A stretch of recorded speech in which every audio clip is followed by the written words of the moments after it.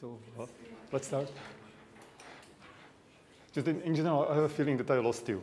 Uh, I'm not sure whether it's how far that feeling is correct. So let, let me try to say summarize roughly where we are and what we're trying to do, or, or not.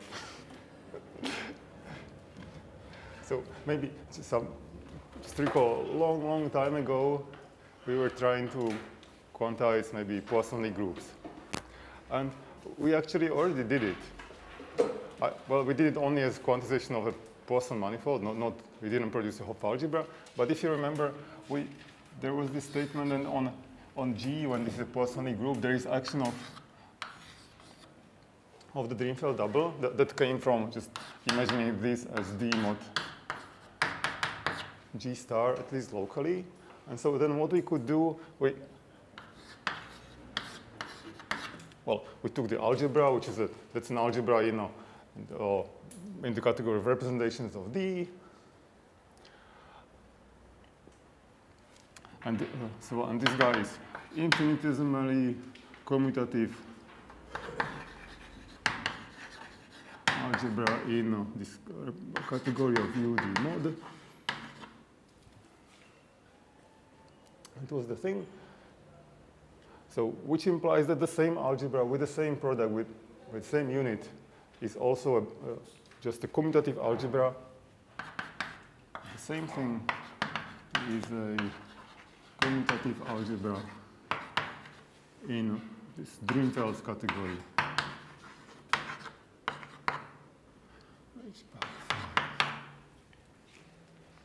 Right, so um, it's the same category as that one. It, even has the same tensor product of everything. It only there is a new braiding. So in place of the symmetry, there is a braiding here. And there is associativity constant. Rebracketing is now something difficult coming from the associator. But otherwise, the same thing. The statement is that this guy with the same product, with the same unit, stays a commutative algebra here because it is I commutative. So it satisfies this additional thing This additional thing is that when you take the product, uh, before taking product, when you act by t, then this is zero. Okay, so therefore, cumulative or not, certainly what is important here for the moment is that it's associative. It is an algebra. If it were not of this type, then the same product would not help us. It would, it would not stay associative, at least not in general. And so what we can do from here, we can take two copies of the thing, maybe completed or something.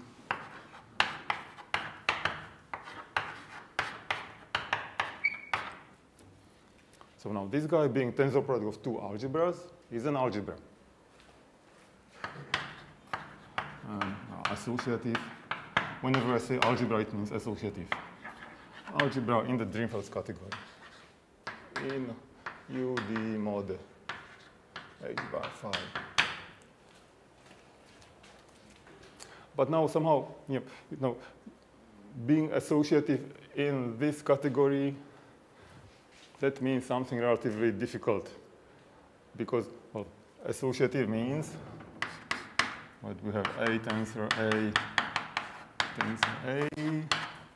That either we take the product here first so we can go to A tensor A with what? With M tensor identity.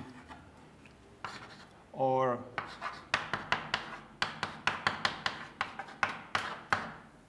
we take the product first. The second two slots. And then we take the product. So the statement is that this commutes, this diagram, and there is this stupid arrow where, where we're acting with phi. And that's a difficult thing in principle or whatever. This phi is a thing that we prefer not to think about maybe. And so we have some strange product on functions on g times g, which is associative in this sense, not in the ordinary sense. But we want to get a true associative, ordinary associative product. So, and not on g times g, but on g. So what do we do? We just mod out by G. So the thing that we do here, we take this, we just take the G invariant, or rather, we take G invariant functions where this G epsilon G times G by what?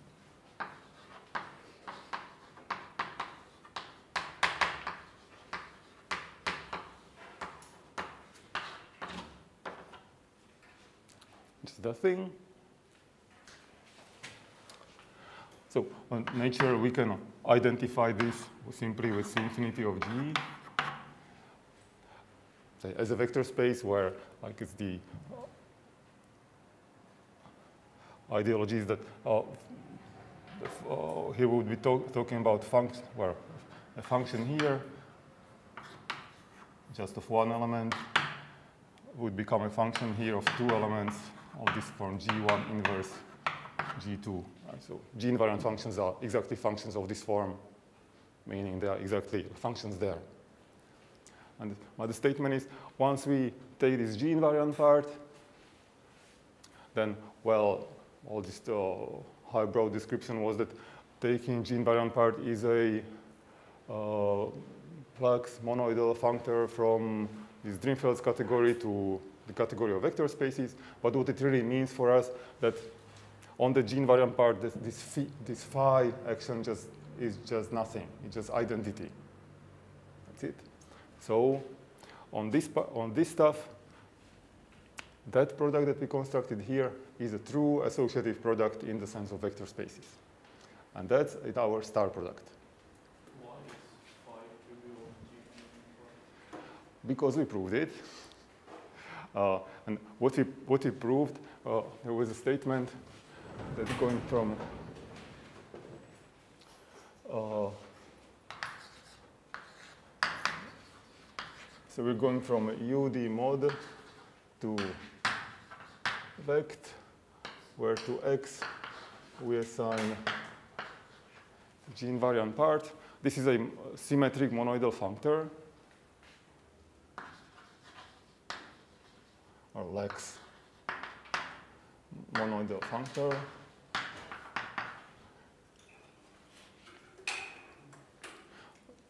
How, uh, how is it uh, how is it monoidal in what sense? So you take x tensor y. Oh, it's wait, it's the other way. Sorry. So we take x and G invariant part tensor y and G invariant part. That's certainly a subspace of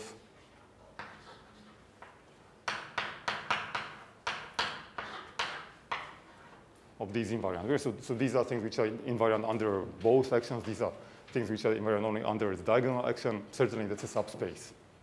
And this is our mono, this is the monoidal structure on this functor. Okay, this functor is monoidal in this way, in this very easy way. There is nothing strange quantum quantumish happening here, right? So this thing, so it's a symmetric monoidal functor, okay, who cares? But what is important that it is also I-braided. So let me call this F. So F is, this is monoidal, monoidal structure on F is this thing, and F is I braided. And this is a thing that we proved, and it's not so it's not so difficult ju just because, or just when you, uh, when you imagine what's happening with, with action of t on this guy when we restrict ourselves to, to those invariant things, then this action of t is going to just disappear. The reason why it disappears, because t is something like ei tensor ei plus ei tensor ei. So, so when we act with this guy on uh, say on x tensor y in x tensor y. Imagine that, well, we're acting with this on that and with this on that, and plus acting with this on, on that and this on that.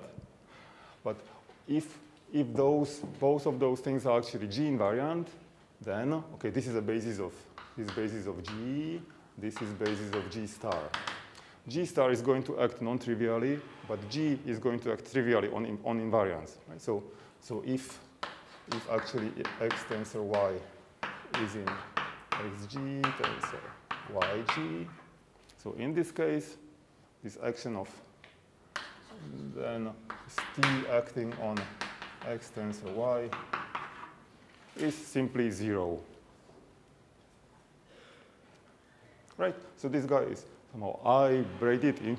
So it's not just symmetric, but it's also compatible with this first order deformation of the symmetry to the braiding, which implies that when you pass to the corresponding Dirichlet categories, when you actually use that associator, there those H bars, then the same F with the same uh, monoidal, uh, monoidal structure just stays braided. So this implies f from uh, ud mod h by phi to in vect there, there is no uh, no deformation of the or t is equal to zero in vect. So I'll just write h bar. So this guy is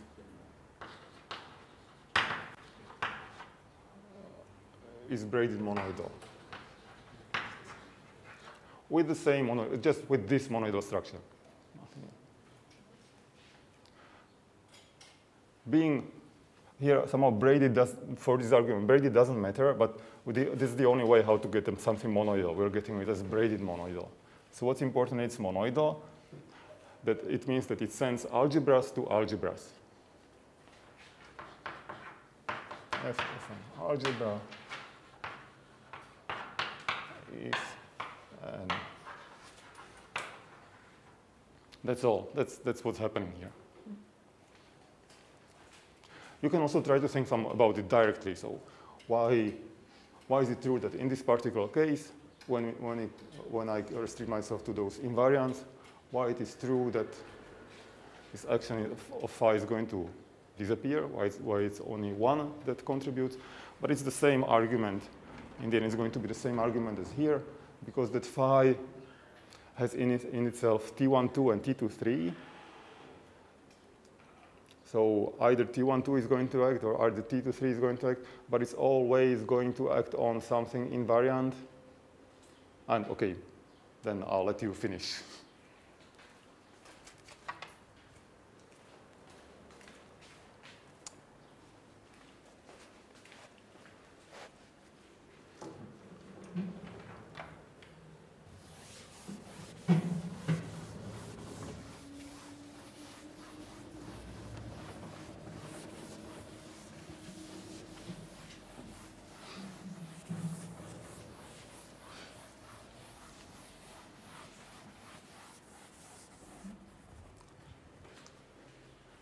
So, but what we're doing now, we're trying to, okay, we already say found the algebra, found the star product. So what, what we want to do now, and I was doing it in a very conceptual and therefore completely incomprehensible way, uh, is how to make it to a Hopf algebra, not just to an algebra, but to a Hopf algebra.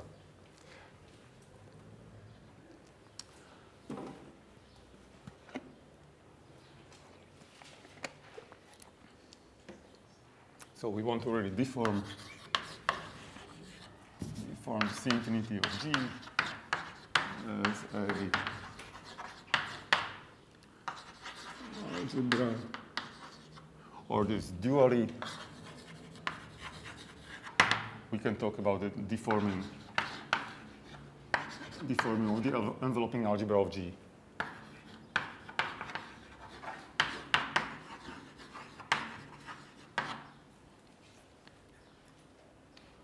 So this is in some sense more general because here this G might be infinite dimensional, might be over any field of characteristic zero, etc. This is a Lie group. But then on the other hand, this is geometric, so this is somehow in a formal neighborhood of identity, roughly speaking, what's happening. But any of those are okay. And then I started to talk about how to get a Hopf algebra in first place.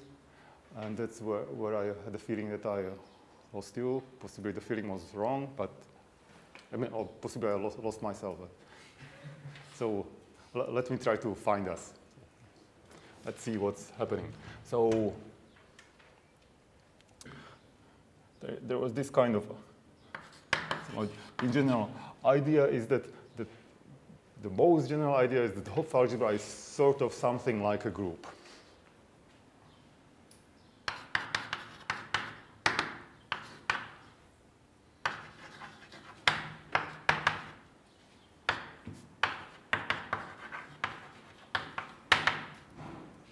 Whatever that means. Of course, it doesn't mean anything. But then it, uh, the next idea is that to take any uh, understanding of a group and try to make it, in some sense, non-commutative so that it would now, in the end, spit out a, a Hopf algebra. And we took one of the possible ways how to, how to do it. So, so say idea prime was, uh, I, was, I was using Simplicial sets. So let me now try to say the same thing, but without Simplicial sets and without Simplicial objects, just, uh, just say, say on the, in, very, in the, the simplest examples what was happening. So the idea is something like this, that if, if say, if G is a group, And in terms of those Simplicial sets, I was talking about BG, and which is also equal to EG, and when we it out by G, something like that. But say for the smallest n's that might appear here, so what, what, what is happening here? So that BG thingy is, roughly speaking, when we look at what was B2G, somehow two dots connecting and co connecting our edge, then we would just draw a G here. So this was just equal to G. And then we looked at, one might look at how things on a triangle. So imagine that you have G, H, and here you have GH, so all possible triples in all possible triples in G, where this is G, that's H, and this is their product. So this kind of thing, of course, characterize, characterizes the product in the group, I imagine. So if you imagine that, well, okay, so this is the picture for, this is the picture for B3G.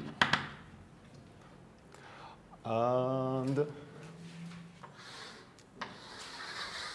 one way how to get here is what, happening here. So imagine that now I start drawing elements of the group at the vertices. So we have just this, but then I mod it out by G, by the, by the joint action of G. So in other words, this is G times G modulo G, where this action is the same as uh, was once written somewhere. The uh, diagonal action on the left, just multiple action on the left. So this thing one can naturally identify with just simply with G. And how do I, how do, I do it? Well, just send G0 and G1 to G0 inverse G1. And so, so who's this element? That's the element who who is needed for going from G0 to G1. So you need to multiply that by this to get to G1. Not very surprising, right? But then we looked at what's happening finally with this three thing.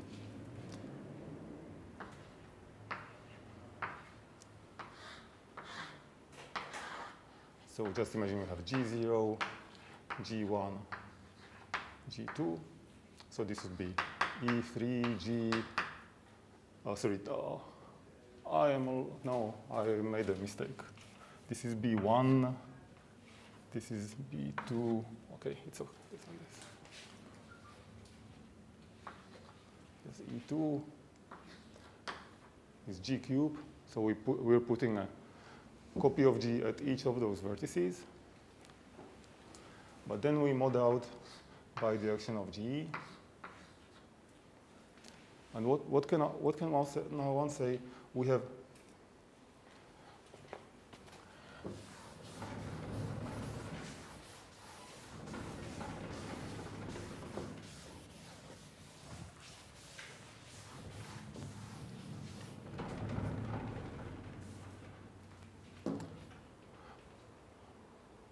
from this E to G modulo G, we have three maps.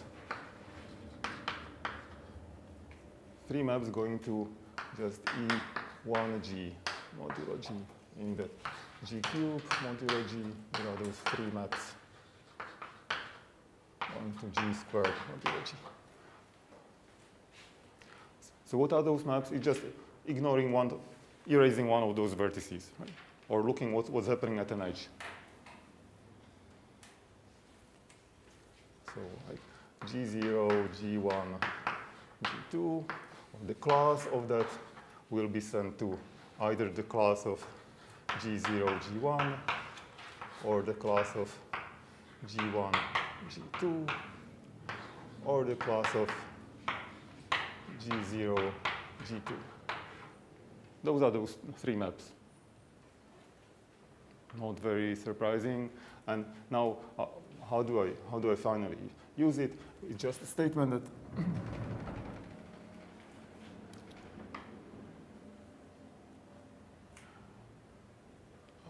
this gives us a bijection between E2G modulo G.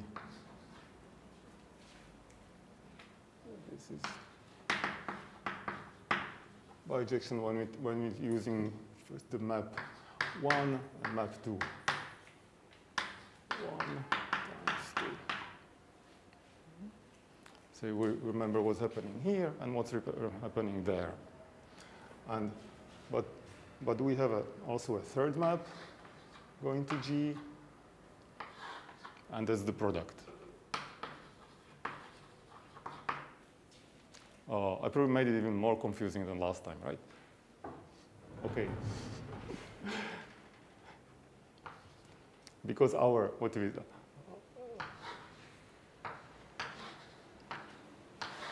So here is the 0, 1, 2. Yeah, I'm, I'm just basically saying that, that this stuff is the same as this picture.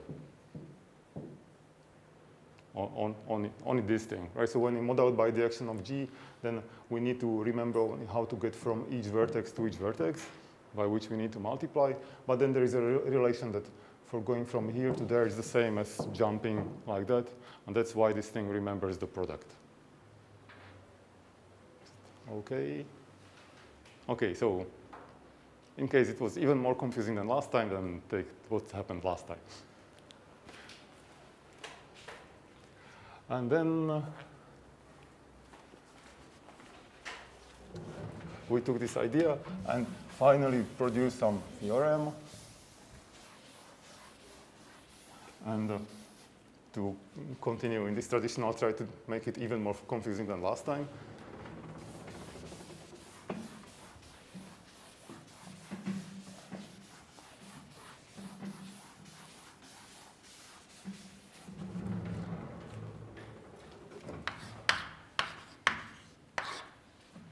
Theorem is about construction of Hopf algebras. And so last time I formulated it uh, using very much those simplicial objects. Now I'll try to just extract the, the needed part. So just to get, get the Hopf algebra. So it's the, the theorem that we already saw, but only stated in more down-to-earth terms, if you wish. So what we need. So suppose that uh, D and C are braided monoidal categories.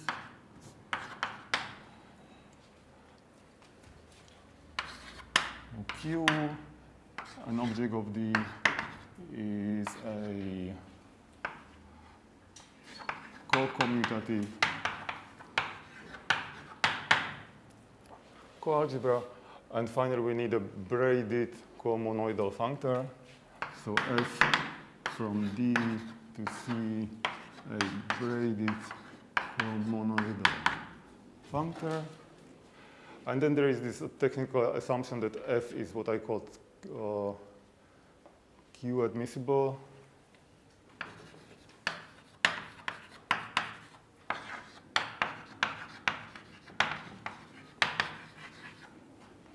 which is supposed to, that, that F should kill one Q. So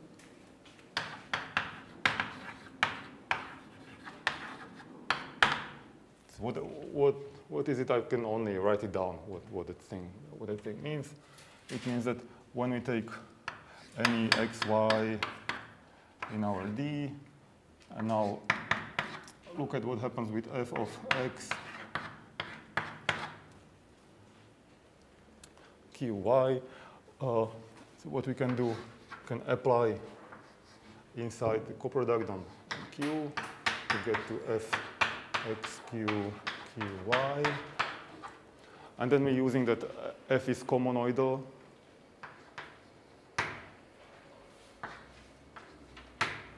to go to f x q f qy. So what, and the, the thing means that this is supposed to be an isomorphism. So having one F and one Q is supposed to be the same as having two Fs and two Qs.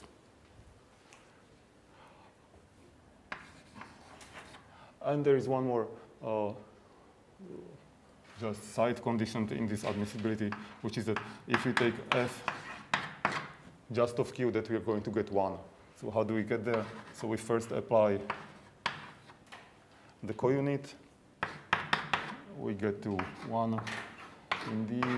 And then again, we just use the fact that it's comonoidal, that f is comonoidal to get to 1 in C. And then we suppose that this is an isomorphism.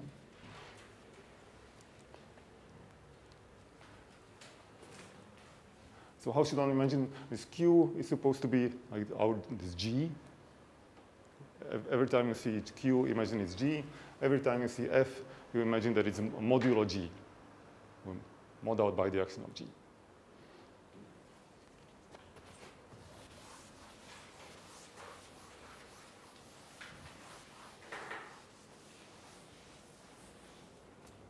And the, the outcome is that then FQQ, who sits in C, is a Hopf algebra. And what exactly is this Hopf structure there? Say the co as a co-algebra. What is it? Just simply uh, Q. Uh, uh, Q is a co-algebra, therefore, so Q tensor Q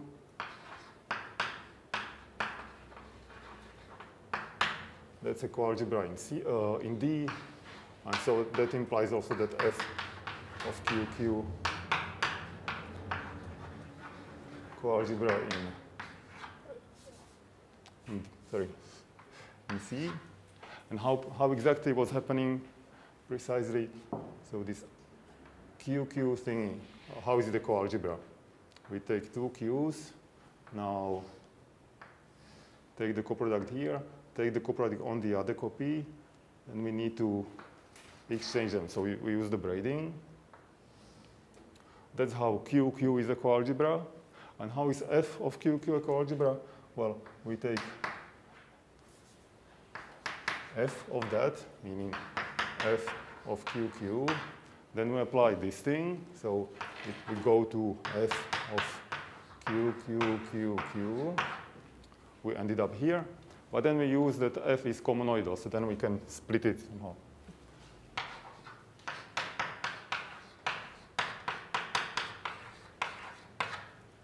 So this is the coproduct.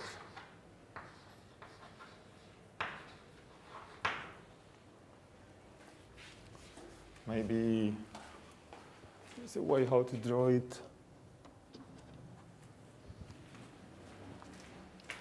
If I draw f as this kind of stuff. Not sure whether it's helpful, but, but this is what's happening, right? So uh, I put it all under f. So here is just uh, happening the, under the functor f. And here I apply the, this comonoidal thingy of which is on f. So it's some sort of coproduct which splits it this way. So that's what happened. Okay, and the counit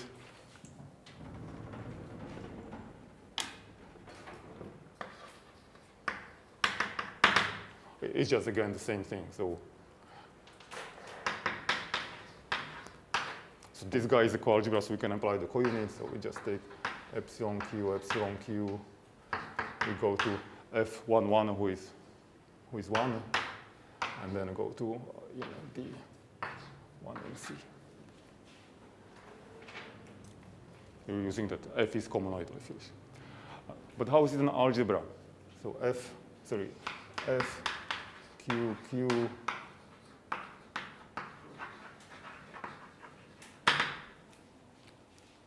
So this thing is extra extracted from this simplicial structure or this of simplicial objects, but let me put it this way. So we need to find the product. So what is the product? We need to find the product from uh, F, Q, Q, F, Q, Q,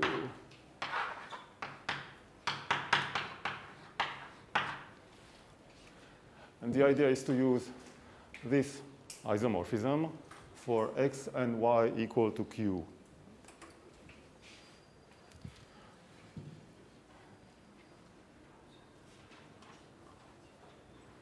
So, yeah.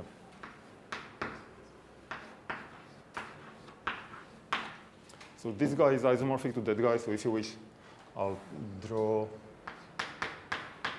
Q, Q, Q, Q, this, where this arrow is uh, well, f of identity tensor epsilon q tensor identity. But what's important is that this is an, this is an isomorphism. That's what we suppose there. Therefore, we can invert it, right? We can go the other way. So is it epsilon delta? Delta, yeah. But it's very close in alphabet. So.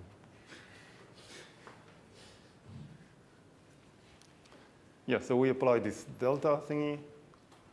And what is the arrow going this way? It's that there is finally epsilon. This is, you remember once there was this, this confusing thing which I, uh, which I now, which I now erased. So imagine you have those 0, 1, 2. And if you erase that thing, you're going to get oh, 1G. If you erase that thing, you're going to get this H thingy. But if you erase that thing, you're going to get uh, this H, uh, the G times H here. So we're going to erase this middle thing. So what is that stuff? This is uh, identity or F under identity uh, epsilon identity. So that's the definition of the product. The product is when you invert this isomorphism and then apply, then erase this middle Q using, using the counit. Uh, is it all? I probably still need to say what is the unit.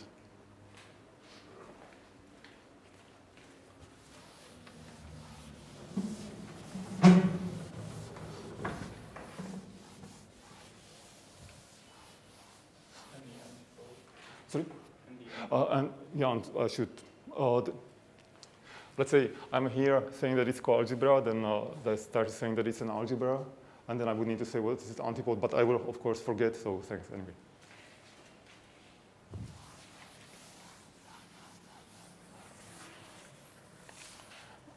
So the unit, that's when you go from F, Q to F QQ using the coproduct, and this is isomorphic with 1 in C. That, that was one of those two conditions on, uh, on this Q uh, admissible functor. So there was the statement that this guy is isomorphic to that guy via, how did it go? It goes to f of 1 in D. And the thing, that this composition is an isomorphism. Okay, that's it. And the antipode. So, so that, that's, as, that's this thing as an algebra and the antipode. So to itself is simply f of beta q. Where does this thing come from? It's just Im uh, imagining that you have this the thing. So how do we get the inverse? We need to flip it. Right, so there is some element of g going that way. To get its inverse, we just exchange those things and we get the inverse. Okay, so let me now prove again. I think I didn't prove this antipode part uh, last time, but uh, so let's also get to this antipode part. But th there was some simple something argument for why everything works. But but let's just let's just have a look at some these low level details of what's happening when it's described this way. So first of all, uh, certainly FQQ is a coalgebra there is no problem, right? That we already, I, I, wrote it that, that way. It's just the image of a coalgebra under a comonoidal functor, definitely a coalgebra.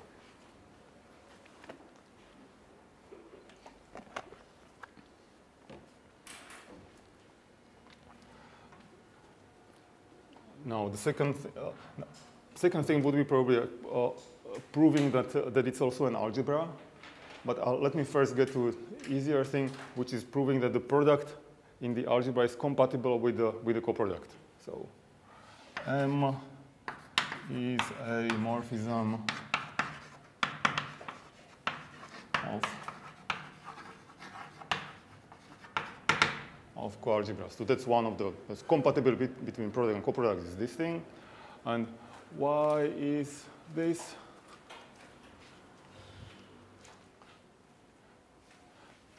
One needs to have a look at what's happening here. See, M is defined as composition of this with that. Now, so in, in this, there, are, there is this strange map containing delta Q, so it, it, it uses two things. First of all, that delta Q going from Q to Q tensor Q is a morphism of coalgebras. And why is it? Who knows why it's a, morphism of coalgebras?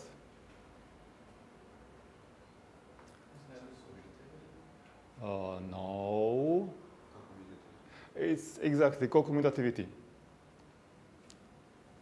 It, it's, or maybe it's easier to think of it in the dual, just in the ordinary world and when you dualize it. So is, uh, when you have an algebra, is the map from A tensor A to A given by the product. Is it a morphism of algebras? No, because A, B, C, D is not equal to A, C, B, D. But if the algebra is commutative, then yes, because A, B, C, D is equal to A, A C, B, D. So this is true because Q is co-commutative.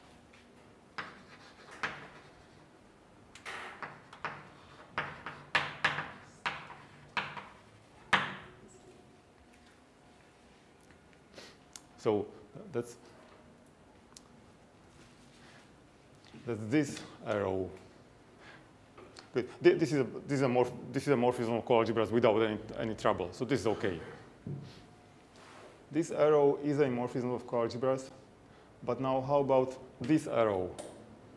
There is another arrow which where we need to prove that it's a there is a morphism of coalgebras. So the second thing is that f Q, Q, Q, Q, to F, Q, Q, F, Q, Q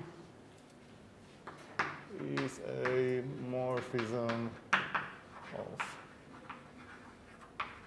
coalgebras. And why is it true? Or just imagine here in the end, that's a coalgebra, that's another coalgebra, and then you have them here. So why is it true that f of, oh, but okay, that this stuff is a morphism of coalgebras? Does anybody know? Yes, so those people who actually looked at the exercises, they should know that this is, a, this is true because f is braided. So because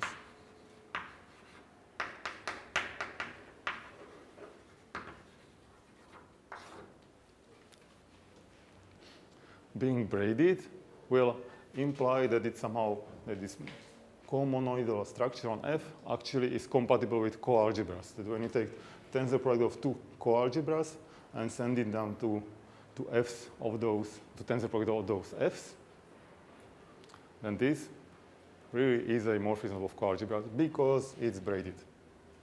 Okay, so this was for verifying uh, that, uh, yeah, that this M is compatible with delta. Now, the, so far, frankly, all the simplicial structures appears to be totally useless. So it never appeared in this proof, and uh, yeah. but for proving that that this product is associative, th then it's somehow handy to to use that uh, to use that simplicial structure. But let me write it without that. So why is M associative?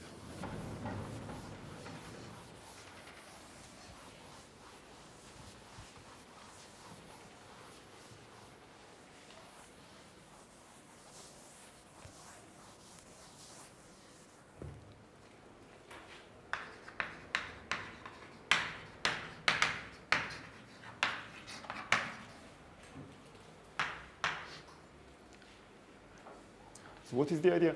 You know, that M, uh, this M was obtained from, really from FQQ going to FQQ like that when we take to identity epsilon identity and then somehow this became isomorphic to FQQ tensor FQQ. This guy was M. So how does one now prove that M is associative? We're going to use four Qs because between four Qs there are three kind of edges and that's, that's what's happening.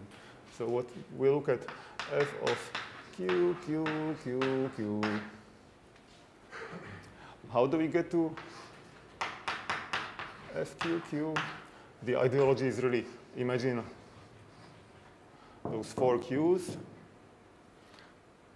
Things are really happening on those edges and then we go to single edge, and we imagine to take the product of all of those three edges. How do we get it? We erase those two inner vertices. Okay, that's one of those face maps, one of those things which happen in the simplicial world, but let me just write it down like this, that we erase those two middle things. So it's identity, tensor, epsilon, tensor, epsilon, tensor, identity. And the statement is that this map actually is the either way of taking the product of three things.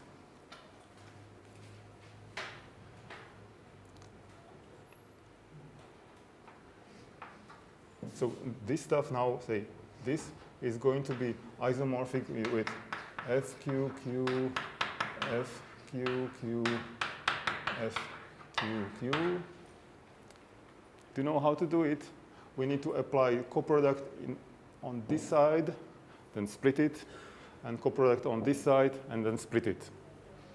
So it's like apply the coproduct here. And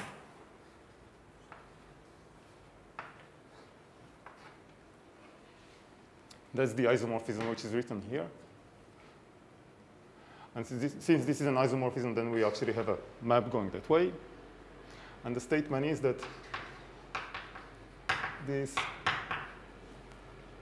this is either way of taking the, either taking first m times uh, to m here and then, uh, then like that. So this is equal to m composed with uh, identity tensor m but also with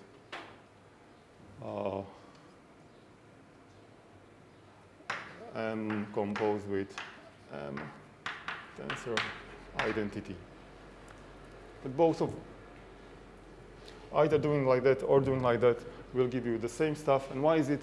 Because it just doesn't matter whether you apply first this epsilon or first that epsilon. You can do it in any way. Uh, but uh, as I said, to, to make this proof somehow neat and to understand what's happening here, then it's good to use that simplicial structure, to, to use the, those simplicial objects. So I leave it uh, as it is, just to say that you can verify directly, it's not terribly difficult, that, that this thing is equal to both of those, that, that stuff, and therefore M is associative. And so,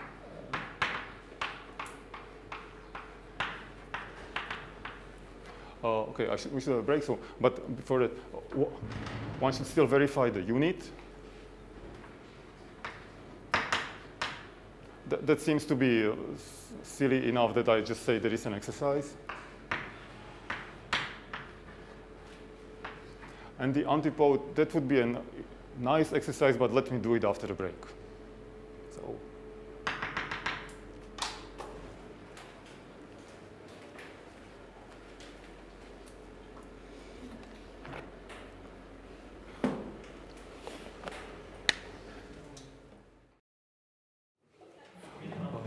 Okay, so let's verify that the antipode is an antipode.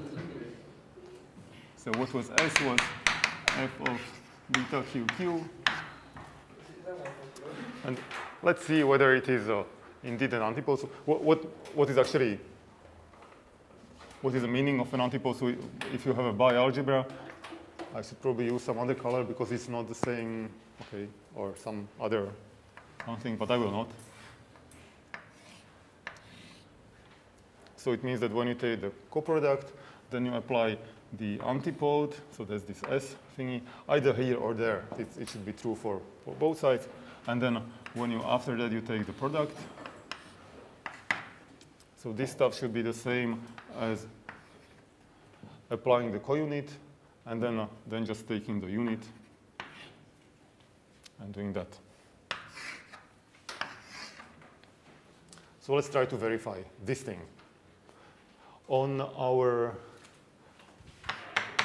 would be Hopf algebra, which is F. The coproduct in, in that stuff, which is the coproduct in QQ finally. So we would do this. That. And now, on one of those sides, either here or there, so let me do it here as it's, as it's drawn, we apply this beta thingy do this antipode, suggested antipode.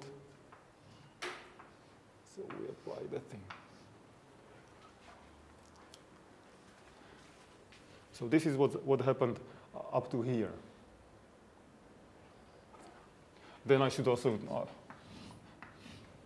I should put it also under that F. So it would possibly be something.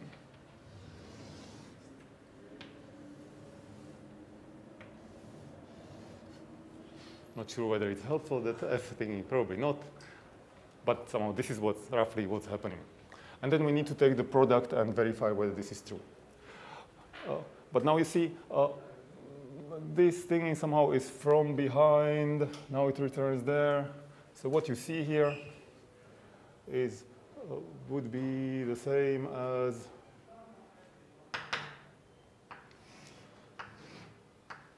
there is this thing, and then we just go behind and do this. That braiding probably had some meaning. It had the meaning that we can just pull it, pull it up like that. Okay, but now we need to apply that product. And the product was defined in this horror way. So what was the horror way of, of defining the product? So let's, let's recall what was M. The idea was to take FQQQ, apply the counit in the middle, go to FQQ, And this stuff was isomorphic to FQQ, tensor FQQ, but how did it go? It went by first doing the coproduct, FQQQQ, and then using the comonoidal structure on F.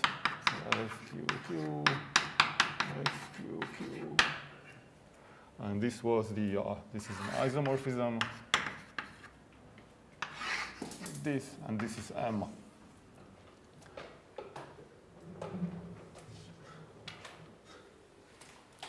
Okay, so let me draw also that F thingy. So F is this, F goes now like that.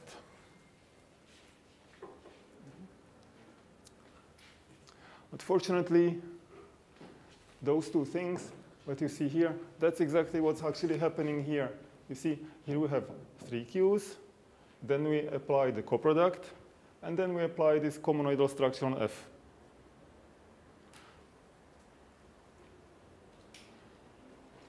Okay, so if you use the isomorphism,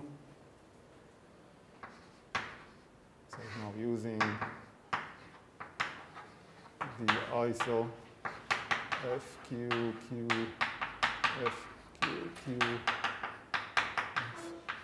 FQQQ. So this diagram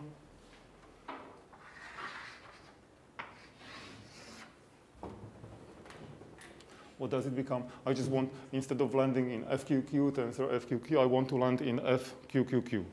So this is FQQ, FQQ. But it, I just want to land, land there. So what is it now?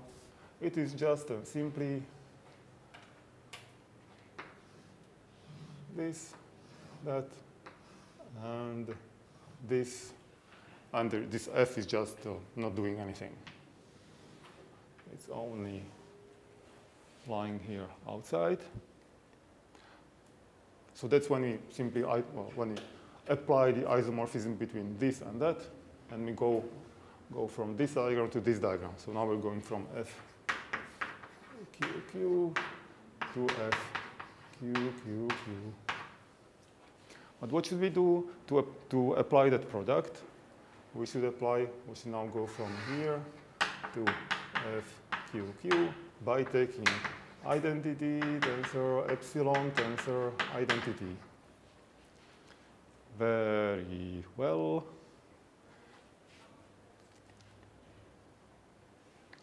So what does it do? Applying that thing, we'll, we'll just do, we just need to apply epsilon here. So we get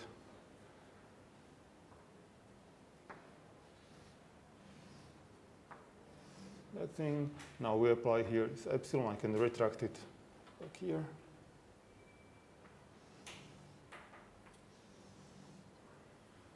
So now we're really going from FQQ to FQQ.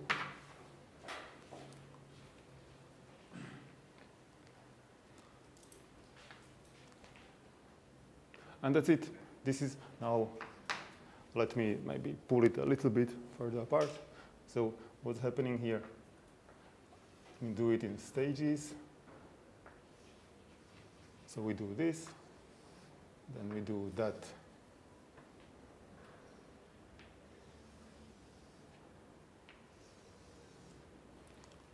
So at this moment, it's still FQQ. Here in the middle is just F of Q. And here is again FQQ. So I just, I just split the, that morphism into two morphisms. One is going here and the other is going, going like that. Do you recognize this morphism? That's what's happening when you just apply delta on Q. Maybe you don't, but it was the unit.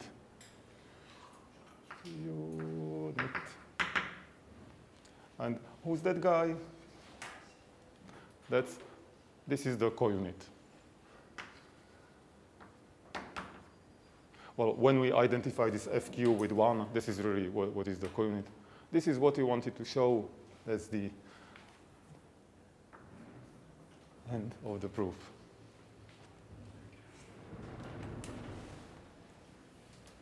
Okay, cool. Now, let's look at first some two silly examples and finally at some the real example.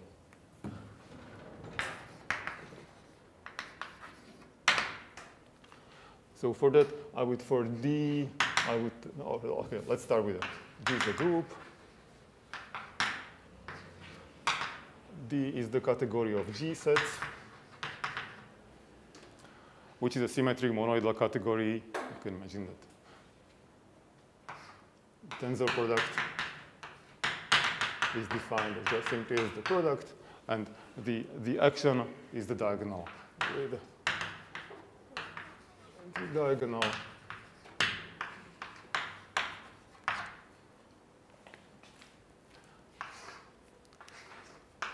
Now for Q, I will take G, where G acting on H is GH. The thing uh, for F of a set, I'll take X mod G. I should probably write it on, or should I write it on the other side? I mean, th those are left actions, so depending on what you, how you prefer. So that thing, is it a, uh, so first of all, is it a symmetric comonoidal or whatever, or, or braided comonoidal in this case, everything is symmetric? Uh, oh, sorry, I didn't say wh where it lands. Okay. So I should say who is C. C is just sets. And F is that, that guy. So F is a comonoidal. So we should I should say what is F uh, from x times y, how it goes to f of x times f of y. But it's simply the, the, the nature, the only possible map of going from x times y modulo g to x mod g times y mod g. It's just the projection.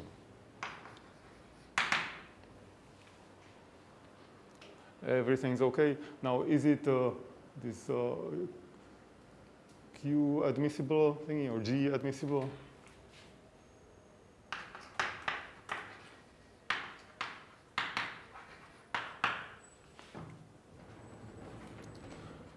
So is it true that, so uh, anyway, what, what is f of x times g times y? So this is our q. So it's x times g times y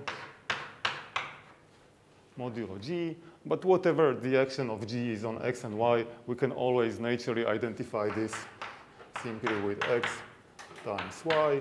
And how does it go? It's simply the, the identification is that uh, x and y here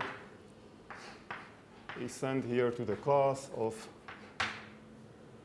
uh, of x, 1, and y. Just because, well, right, or because it's true. There, is not, there is no explanation here. And so this implies that certainly implies it's, it's all, this all should be just trivial. So this certainly implies that uh, okay, the f is g. So what does it mean that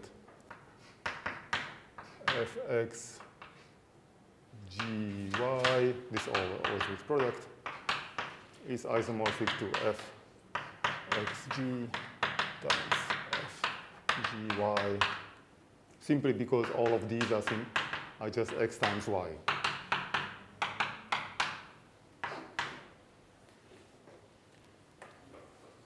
Yeah, there is, doesn't sound very deep, right?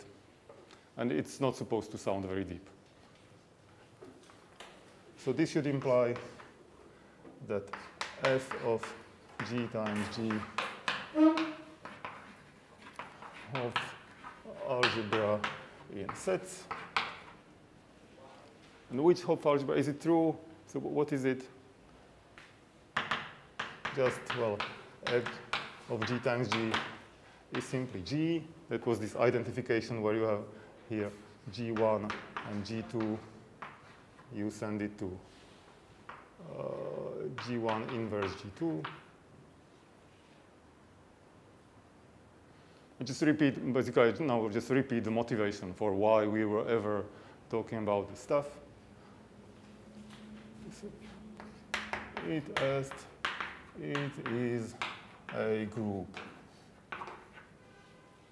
namely the group G.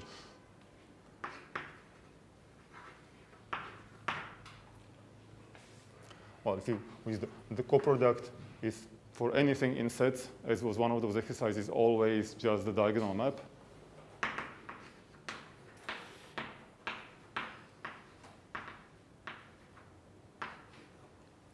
So the interesting part is only the product.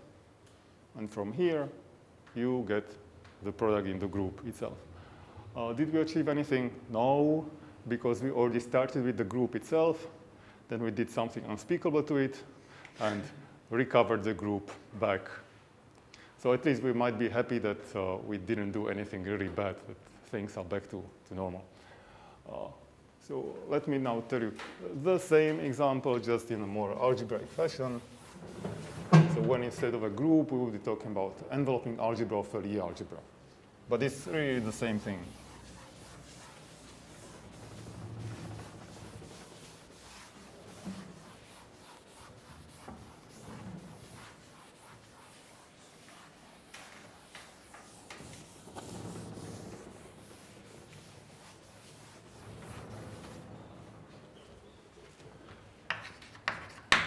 So another example. So we start with that. Algebra. Now for D, we take the category of, of representations of this of this Lie algebra.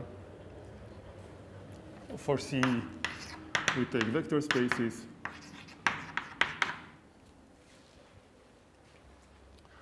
For Q, Q is going to be the enveloping algebra of, of G. So it's like some, some sort of formal algebra, whatever version of, of a group that we, we just talked about, uh, enveloping algebras of, of the algebra. Uh, f of x, x is now a vector space representation of, uh, of G. That's going to be x mod G x or G coinvariants, if you wish.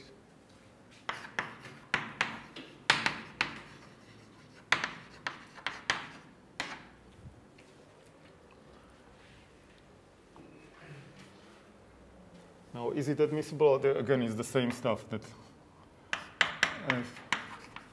admissible because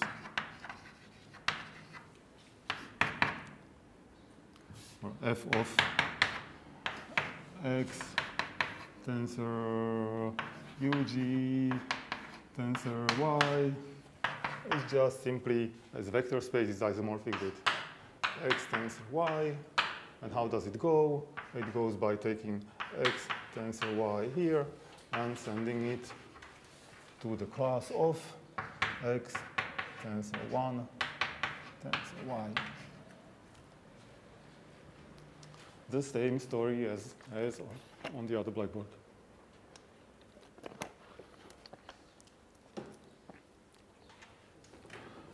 This should imply that f of UG tensor UG is a Hopf algebra in, in vector spaces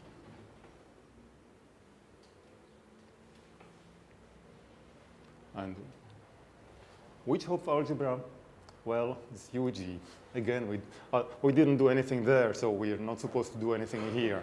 It's just exactly the same thing, but now put in this world of vector spaces, but so namely, so we, I, I can identify this with UG by saying, saying that uh, whatever uh, x here is mapped there to the class of one tensor x. Or to, to use that uh, notation of G1 inverse, etc., uh, one can also say that uh, if we have x tensor y here, then I would map it there, the same, same thing to, not to 1, but to s of x, the antipode of x, x times y.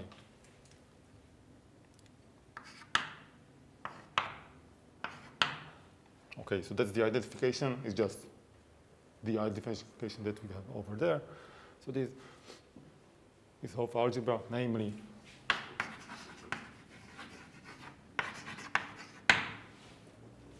namely UG. Nothing happened here. But now let's just modify a little bit this example to, to finally prove a theorem.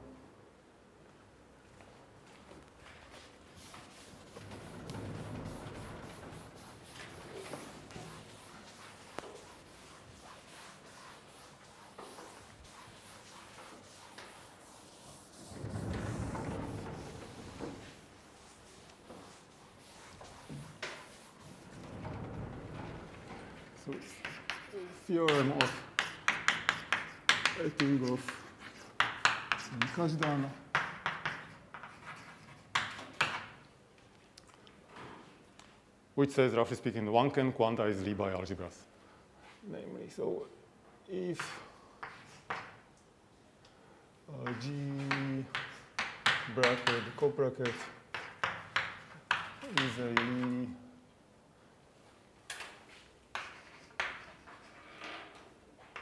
bialgebra, say, over some k of uh, characteristic 0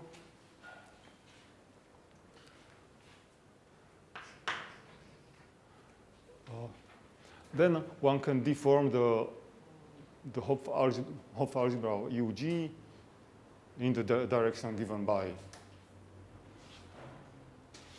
given by delta. So then there is there exists a Hopf algebra structure on UG in the category vect h bar in category of uh, just to maybe you don't remember, this vector h bar, it, it's simply the category of vector spaces, but where now morphisms are allowed to depend, uh, allowed to be power series in h bar. That's the only difference. So uh, I want to have the product and coproduct to depend formally on some, on some parameter called h bar, so that's why I put it here. There is a Hopf algebra structure on G, namely that we have this UG, and then there is a product, coproduct, antipode, unit, and counit,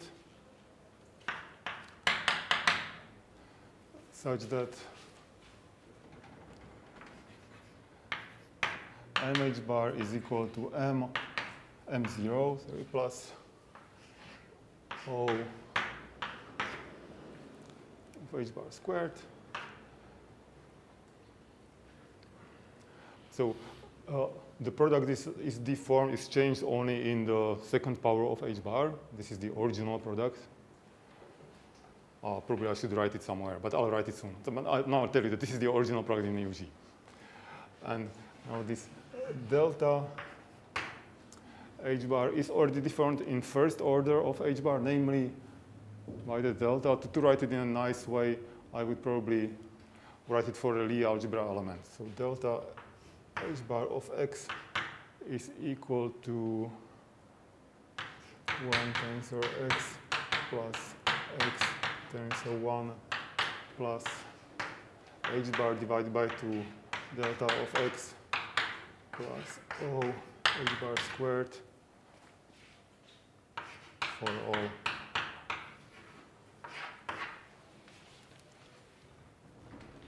For all x who are in G, so on it's a part of UG.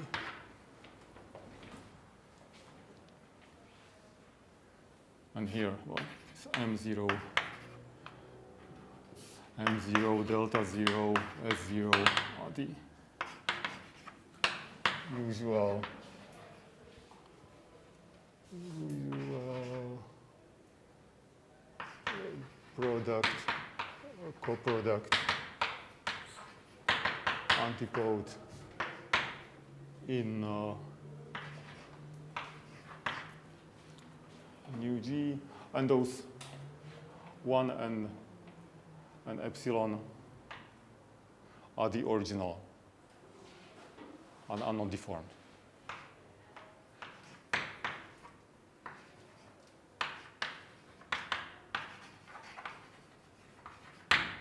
And uh, antipode is. Antipode is deformed. It, now it would just follow from general nonsense that, that antipode is equal to S0 and plus some terms of, there is already a term which is uh, linear in H bar. And if I'm very mean, I can put it as an exercise to, to uh, even to compute what, what is, not just this first order term, but, but this guy is something very simple. It doesn't contain any associator or anything like that. Okay, one can deform it. There is such a deformation. The, their theorem is then somewhat more precise. It says that uh, this deformation is given by uh, some universal formulas. So there is actually formula for what is this, formula for what is that. Uh, I will not state it that way, but, but it will be apparent from the proof. We'll just be proving in such in a universal way. So how does one prove it?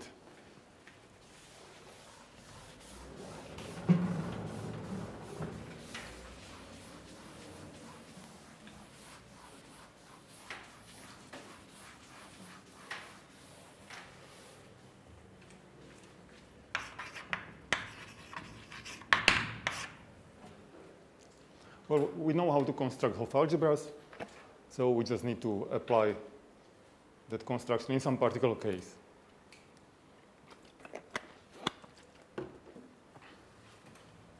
So let me set up the categories. So first of all, it will be, I'll call it D0. This will be UD modules. D is the, D is the double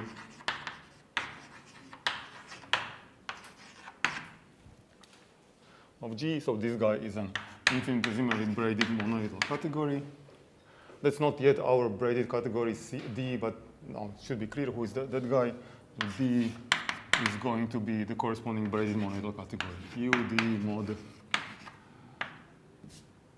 H bar phi. So we need to pick up an associator. So we pick it up and use it. Now C zero say will be vector spaces and C will be just vector spaces with those with that formal parameter H bar. Now who's who? Uh, this Q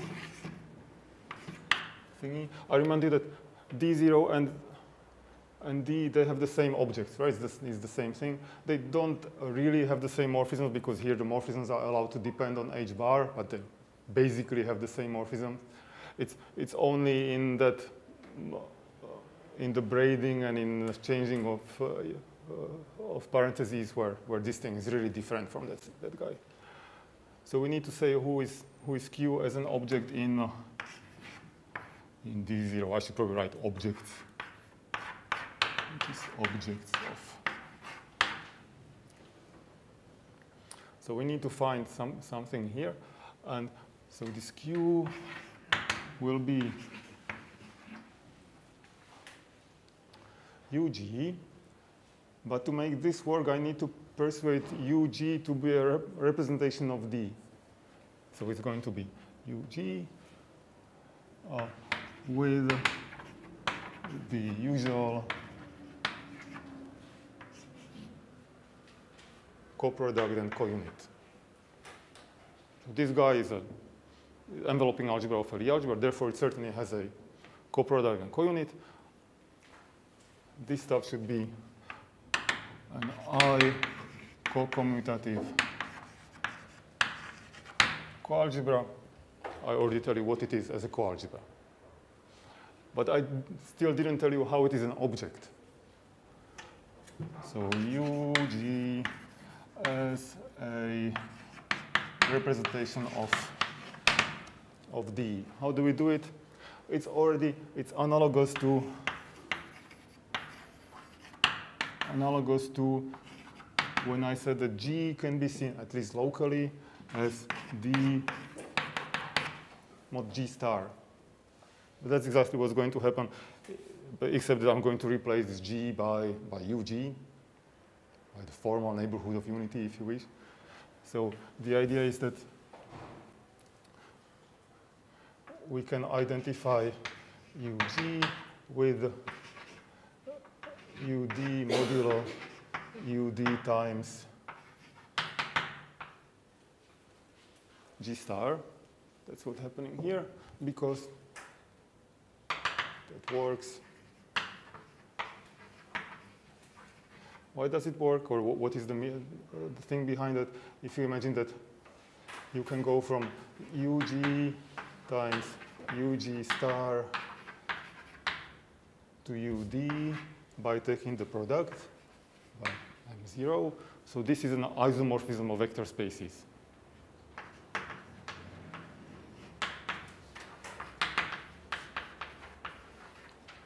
Is it okay? It's like Poincare-Birkhoff-Witt theorem, or one, one consequence of that, that we can just move everybody in G to the left and everybody in G star to the right.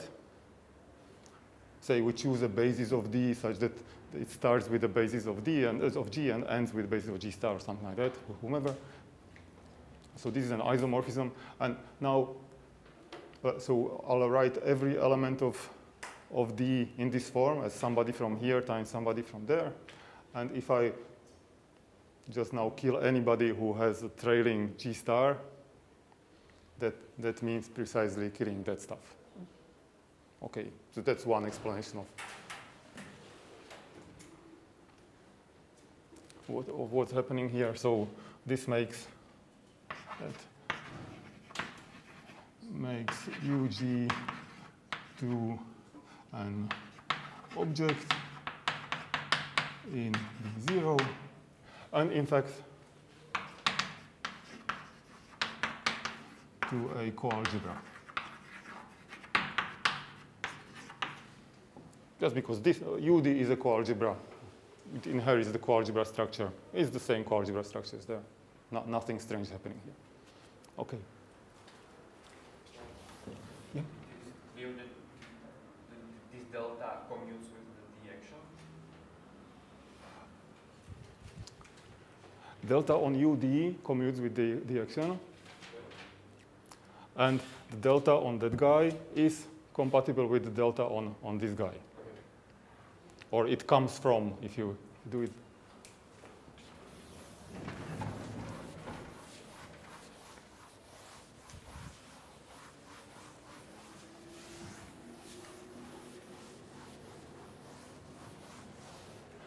Now, what do we need to do? So certainly, okay, now, we know that that gives us that uh, G is a commutative coalg in the D0. But we, okay. But what we need, we need to make it, we need to verify that it's I co-commutative. So it's co-commutative.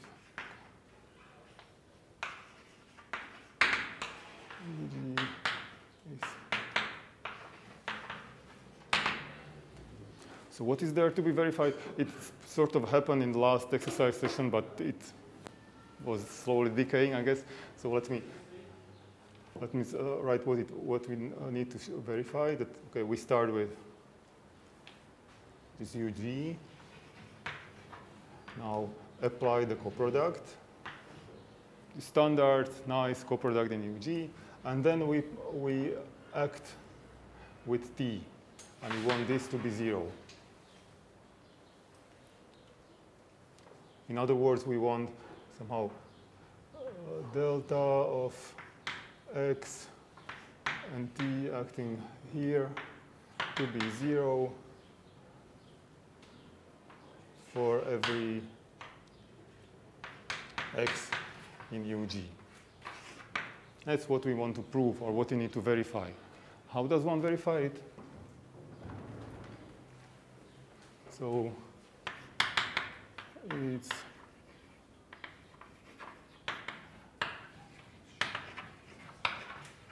it's enough to verify it for x equal to 1. Why is it so? Because you can get from 1 to any, anything here, right? You can get any x here by, by action from somebody from UD. By, by action from whom of UD? By action of x from UD. That's the easiest way how to do it. Right? So it's enough to verify it for this simple thing. So what is now the equation? So what we it as that t acting on 1 tensor 1 is 0. And why is it so? Because this t is equal to ei tensor ei plus ei tensor ei. So t acting on 1 tensor 1. What's going to be? ei acting on 1 tensor ei acting on 1 plus ei acting on 1 tensor ei acting on 1. Now, this is not really needed, but, but right now, I'm acting from somebody from G on this one. So this, this guy is simply equal to ei as an element in G, which sits in UG. But what is important that this guy is zero. See, because I'm acting, that, that's, here I'm finally using the, how this action is defined because I identified this with that guy and I know how to act here. So let me start with one. I, I, I multiplied, simply multiplied with somebody from G star, but the guy is here. I kill it. The poor guy didn't survive, so the thing is zero. This is zero, and this stuff is zero, so it's zero. Perfect, everything works. But this is just a version of the, we, you see, we already once verified that the algebra functions on, on G is I commutative in this world, in the category of UD modules. This is the same stuff, only now for done for coalgebras more algebraically. But okay, we did it again, no problem. It's fine.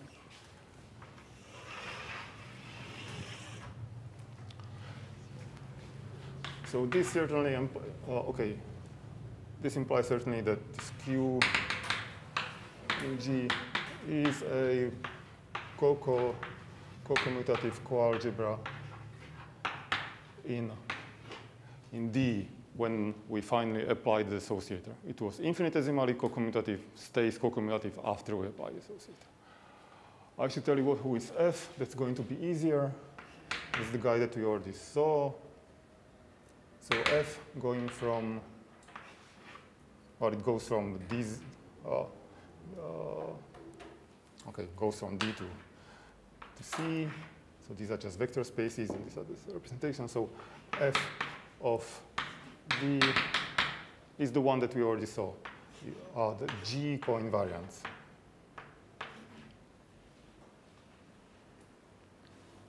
Very well.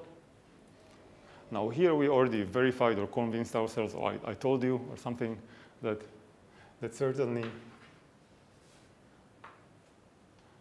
first of all, uh, what should I say probably? F is I uh, braided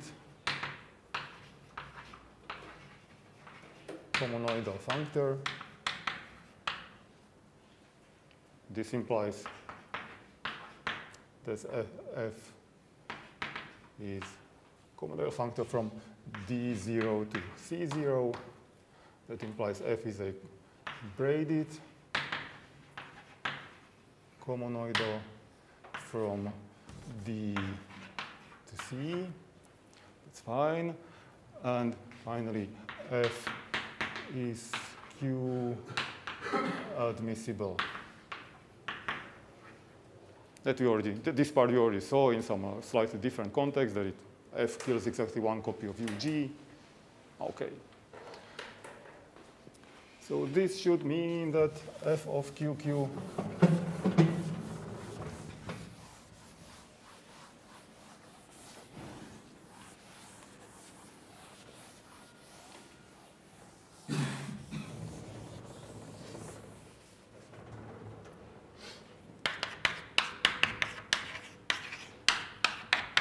this is in vect h bar is a Hopf algebra, and that's our Hopf algebra. Here we have it.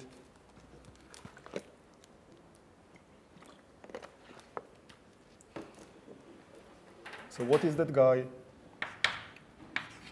That's UG, tensor UG, and modulo G, well, modulo the action of G. Now, exactly as before, I ident identified this space, this vector space with UG as a vector space. We, we saw of is the isomorphism that we saw. We can identify this with uh, with UG. How how did it go? It's say by saying that one sorry that x in here is mapped here into the class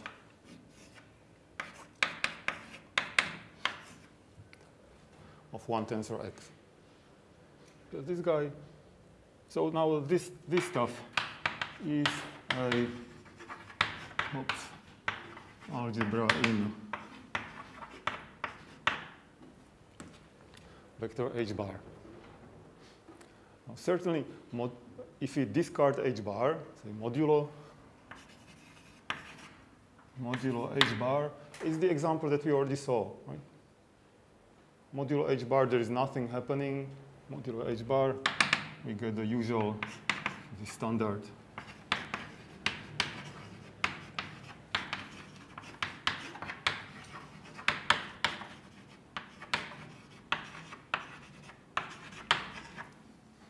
So C, the previous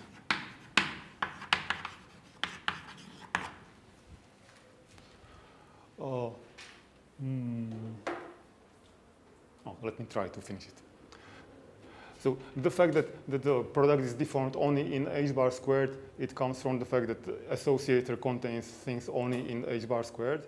So I'll, this I may leave it up, say, for the moment as undisclosed, uh, or up to you or something. But let's now verify to see that delta of, of x h bar of x is equal to 1 tensor x plus x tensor 1 plus h bar divided by 2 delta of x.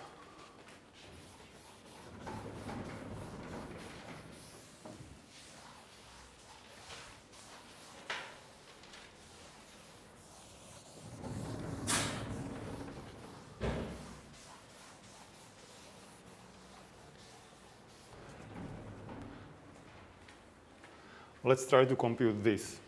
So how does one compute it? So first of all, what is the the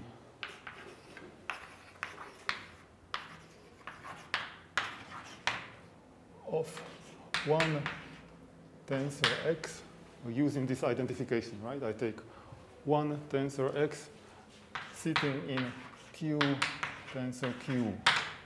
So what is the coproduct here? Let's just look at the definition. What should we do? We start with one tensor x. Now we apply the coproduct here, apply the coproduct here. Let's work on modulo h bar squared. Modulo h bar squared, there are no associators appearing, so we don't need to care about any stupid bracketings. But there is braiding appearing right here. So, uh, so what is it? We get either, if you discard h bar, then, then we get 1 tensor 1, that's what coming from here. And from here we can we get either 1 tensor x or x tensor 1. Tensor 1 tensor x plus 1 tensor x, tensor 1, tensor 1. And finally, there is this thing appearing, uh, which will only come when, when there is x and 1 crossing. So there would be h bar divided by 2, as it should be. There is h bar divided by 2 of, right, so imagine that in the end you get like x and 1, 1 coming here of 1 tensor t acting on H tensor 1, tensor 1. So we need to compute who that guy is. So it's plus O h squared. We need to compute this guy.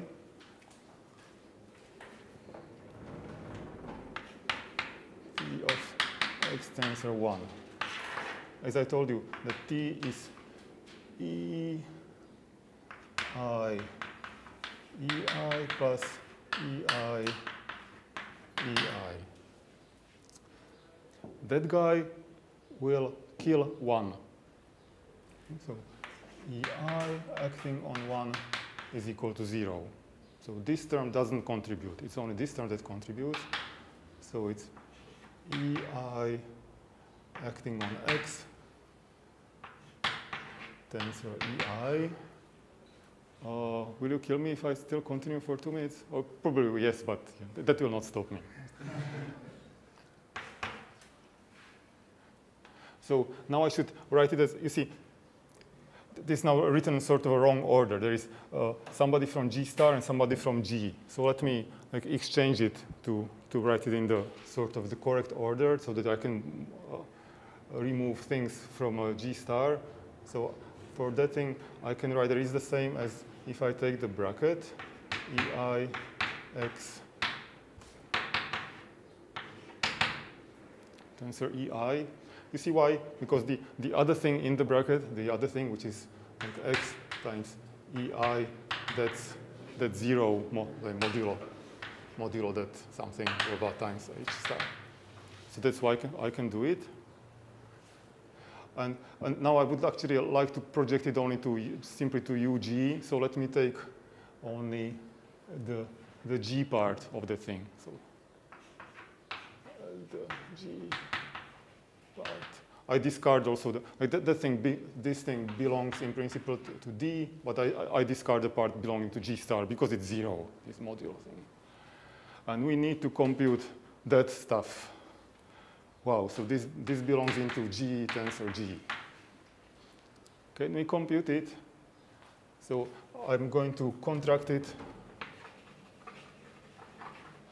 with some alpha tensor beta who is in G star tensor G, uh, tensor G star. So you see, if I contract EI with, with, with beta, the thing that, that will happen is just that this will be re replaced by beta. Right? So we get we get beta on x. Now say the g part of that, but I'm going to anyway contract it with a, start with alpha, alpha comma. So this is this is the outcome of contraction with alpha and beta. So this is what we were once upon a time, we were drawing it in this way, that there is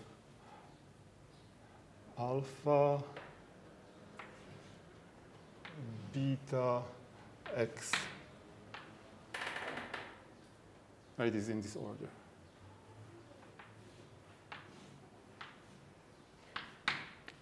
And this stuff, so that, that's the, okay, uh, that's the Lie bracket in D, contracted with everybody like that.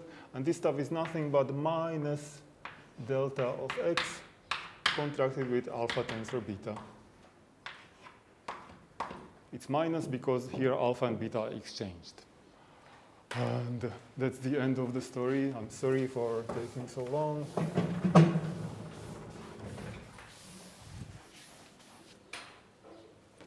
So where did you get? We, we go to one tensor, one tensor, 1 tensor x plus 1 tensor x tensor 1 tensor 1 plus say minus h bar divided by 2 1 tensor delta x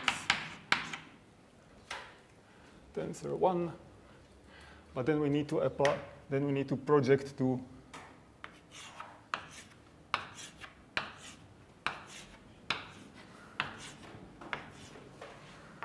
So it's like this now, this goes through the middle. So how do we do it? Well, this, this is simply 1. This is 1 tensor x, that's x. This is 1 tensor x, that's x. And here is 1 tensor 1, It goes to 1. Here is minus whatever something x1 tensor x2 thingy. So what, what will this do? This will just leave me x1 tensor, but you see here it's x2 tensor 1. It's not in the right, it's not in this nice order of 1 tensor something. So how do I put it into this nice order? I need to, I need to apply the antipode on that, the standard antipode on that guy, which will produce sign, another sign minus. So that's why it will produce plus and this is h bar divided by 2 times delta of x. And that's the end of the story. And sorry, yeah. But one can call it sort of end of this course or something. Though we shall probably still meet next week.